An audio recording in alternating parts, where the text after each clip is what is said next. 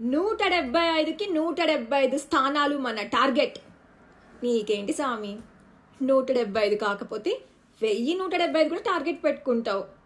మనకి తల్లి తండ్రి గురువు దైవం వీళ్ళంటే భయమా న్యాయస్థానాలు న్యాయ వ్యవస్థలు పోలీస్ సిస్టమ్ రాజ్యాంగం ఇవన్నీ ఒక కొన్ని ఉన్నాయని మనం ఏమన్నా ఆలోచిస్తామా?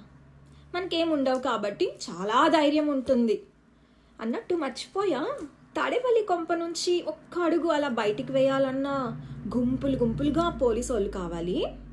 పరదాలు ఉండాలి మరీ ముఖ్యంగా. కానీ నువ్వు మాత్రం ధైర్యం గురించి భలే మాట్లాడుతావు తుగ్లక్ బ్రో. చంద్రబాబు నాయుడు గారు పవన్ కళ్యాణ్ గారు నూట డెబ్బై ఐదు స్థానాల్లో పోటీ చేయించగల ధైర్యం ఉందా అని అడుగుతున్నావు. బహిరంగంగా స్పీచ్లో బెదిరిస్తున్నావా?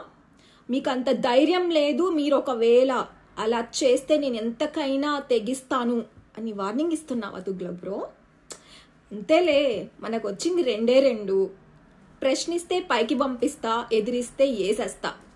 ఈ కాన్సెప్ట్ నమ్ముకున్నాం కాబట్టి నూట డెబ్బై ఐదేంటి ఎన్నైనా గెలిచేయచ్చు ఈజీగా అదే కదా నీ కాన్ఫిడెన్స్ నాకు తెలుసు.